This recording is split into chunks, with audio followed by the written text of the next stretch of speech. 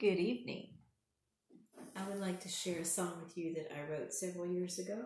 It's on my first CD, which is called Waters Wide, and this is called Guinevere's Lament.